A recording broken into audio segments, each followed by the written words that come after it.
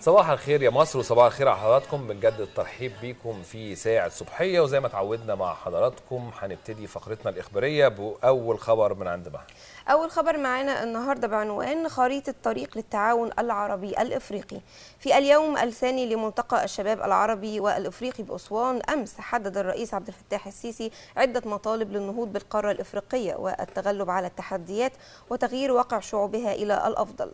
وشدد الرئيس على ضرورة إعداد ورقة بالاحتياجات العاجلة لتنمية القارة تمهيدا لطرحها أمام القمة العربية الإفريقية المقبلة بالرياض على أن تكون محددة الإجراءات وممكنة التنفيذ. واقترح الرئيس السيسي خلال مشاركته في المائدة المستديرة وادي النيل ممر للتكامل العربي والإفريقي على هامش المنتدى أن تشمل الورقة عدة نقاط منها إنشاء صندوق عربي إفريقي لتمويل مشروعات البنية التحتية بإفريقيا وتدشين سوق عربية إفريقية المشتركة والسعي بقوة لضمان نجاحها. أعزائنا المشاهدين بيسعدنا يكون معانا على الهواء مباشرة الدكتور أحمد عبد العال رئيس هيئة الأرصاد الجوية. برحب بحضرتك يا دكتور صباح الخير. أهلا بحضرتك وبالسادة المشاهدين. دكتور أحمد طبعا حضرتك عارف أن التغيرات المناخية دي أكتر حد بيتأثر بيها هو المزارع فعايزين نعرف لأن إحنا سمعنا أن في تغيرات مناخية قد تصل درجة الحرارة في نهاية الأسبوع إلى درجة 40 هل هذا الكلام صحيح ولا لأ؟ لأن ده بيهم قطاع الزراعة بشكل كبير جدا. لا هو في صحيح في ارتفاع في درجات الحرارة لكن إن شاء الله مش توصل لحد 40 ولا حاجة يعني في ارتفاع تدريجي في درجات الحرارة يعني لحد يوم الأربعاء ممكن توصل 25 الخميس توصل 26 درجة على القاهرة لكن عموما إحنا بالنسبة للمزارعين يمكن أكثر حاجة هي موجودة هو وجود الشبورة المائية في الصباح على أغلب الطرق. هل يا دكتور نقدر كده نعتبر إن إحنا بدأنا فصل الربيع مع طبعا ارتفاع درجات الحرارة ولا في احتمالية لإنخفاض الدرجات مجددا؟ عامة إحنا فعلا واقعيا وليس مناخيا ولا جغرافيا بدأنا في الربيع واقعيا التوزيعات الضغطية على القاره كلها توزيعات ربيع وإحنا عارفين إن فصل ربيع من الفصول اللي بيبقى فيها تقلبات جوية سريعة وحادة. طب إذا اتكلمنا عن الثروة السمكية وطم يعني عايزين نطمن برضو إخواننا الصيادين في البحرين الأبيض والأحمر عن مدى ملائمة البحرين لأعمال الصيد. يعني إحنا عندنا الحمد لله الرياح خفيفة على كل من البحرين وده معنى كده إن البحرين الأبيض والأحمر قابلين لأعمال الملاحة البحرية.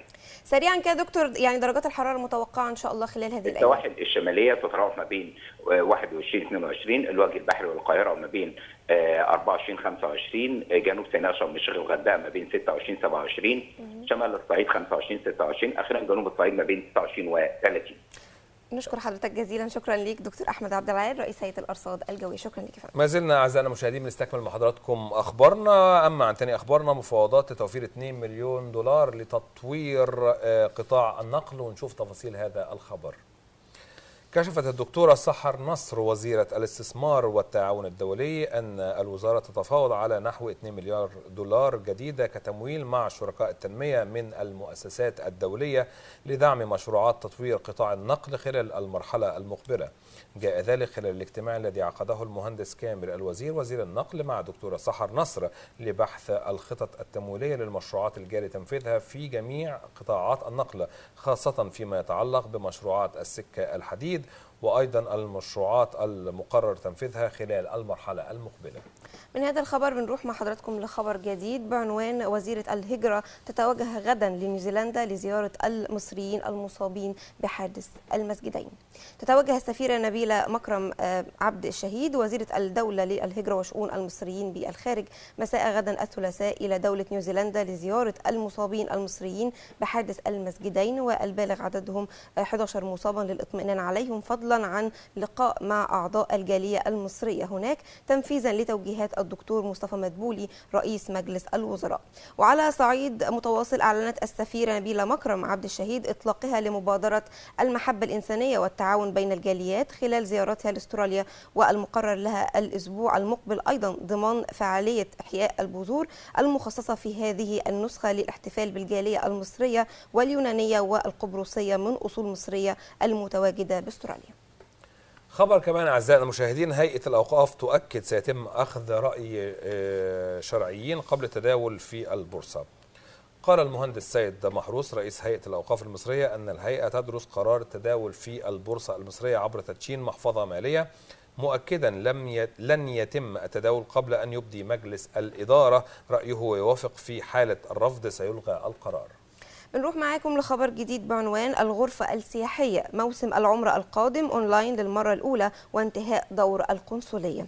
كشف ناصر تركي عضو مجلس إدارة اتحاد الغرف السياحية ورئيس لجنة الإعلام والعلاقات الحكومية أن موسم العمرة القادم لعام 1441 هجريا سيعمل وفق المنظومة الإلكترونية للمملكة العربية السعودية للمرة الأولى حيث سيكون التعامل التعامل بين شركات عفوا السياحة والمملكة عبر الإنترنت. سيتم ذلك إلكترونيا منذ بداية الحجز للفنادق والانتقالات وحتى استخراج الفيزا ولن يكون هناك دور للقنصلية السعودية في ذلك. وواضح جدا من الخبر اللي جاي إن يعني الأسر والولاد والأزواج الظاهر ما عملوش حسابهم في هدايا عيد الأم. إيه رأيك؟ لا إزاي؟ الناس اللي حريصة على إن هي تجيب هدايا لمامتها في عيد الأم أكيد جابت. حوشوا وجابوا. من الحوارات الجميلة مش كل الناس قبل الهوا كانت يعني بتكلم مع مها بقول لها أخبار هدية عيد الأم اللي عايز يجيب. هيجيب آه فهي كانت بتعلم بنتها من دلوقتي قالت لها فين هدية عيد الأم يا حبيبتي؟ فقالت لها هجيب منين بابا؟ هو اللي هيجيب. قالت لها أنت مش عندك محفظة فيها كوينز فده اللي فهمته قبل الهوا طبعا ده هي مكسوفه إحنا إحنا لا والله بس إحنا اتربينا على كده وتعودنا على كده اتربينا إن إحنا نربي اولادنا إن إحنا نجيب الهدايا. ما شاء الله عليكم. ده فكر استعماري جدا. أيوه طبعا يعني دي أبسط حاجة تتقدم للأم. أعتقد إن إحنا بجد والله مهما عملنا لأمهاتنا مش هنقدر نوفيهم حقهم. فدي يمكن أبسط حاجة رمزية ممكن نقدمها لوالدتنا إن إحنا نجيب لها هدية رمزية. فندرب عيالنا من دلوقتي إنهم يجيبوا هدايا. إيه المشكلة؟ مش لازم تكون على فكرة حاجة غالية جدا. ده ممكن لو حاجة حلوة بسيطة جدا ورده حتى جنيه. من الطفل مثلا لمامته هتبقى جميلة جدا. هما بس الرجالة شوية اللي بيبقوا يعني إيه؟ الرجالة اللي بيدفعوا حضرتك بيدفعوا هدية الزوجات وبيدفعوا هدية الحموات وبيدفعوا هدية المدرسات يعني بيهيصوا. بس عموما يا محمد هي مناسبات حلوة ويعني آه. نشوف بقى الخبر انطباع حلو عند آه. كل الناس الخبر بيقول بيها حضراتكم ولا بلاش الخبر شعبة الأجهزة المنزلية عيد الأم لم يحرك المياه الراكدة بمبيعات القطاع مم. واضح إن في صحوة في الرجالة في يعني في الرجالة ابتدت تاخد بالها. قال حسن مبروك نائب رئيس شعبة الأجهزة المنزلية بغرفة الصناعات الهندسية باتحاد الصناعات أن عيد الأم لم يحرك المياه الراكدة بمبيعات شهر مارس الجاري لقطاع الأجهزة الكهربائية. أرجع التباطؤ في المبيعات لارتفاع الأسعار. الناتج عن ارتفاع التكلفة. واضح إن عيد الأم السنة دي كله كوبايات. بس لا يعني برضه مش هنتنازل عن هدايا عيد الأم يعني معلش. أعزائنا المشاهدين هيكون معانا مجموعة من الفقرات الحوارية. إن شاء الله تعجب حضراتكم بعد الفاصل. إن شاء الله مشاهدينا فقرة تكون مهمة جدا عن مصر في قلب إفريقيا. أعتقد إن ده من الموضوعات الهامة جدا خصوصا بعد ترأس مصر للاتحاد الإفريقي. لازم نتكلم عن دور مصر إلهام في تطوير والنهوض بهذه القارة الغنية بالعديد من الثروات الهامة. ضيف هذه الفقرة إن شاء الله دكتور هشام شمس الدين الخبير الاقتصادي. وللتأكيد على هذا المفهوم هيكون لنا فقرة خاصة جدا عن ملتقى أسوان ونظرة تحليلية هنتكلم فيها عن دور هذا الملتقى في دعم فكرة ريادة مصر لأفريقيا مرة أخرى.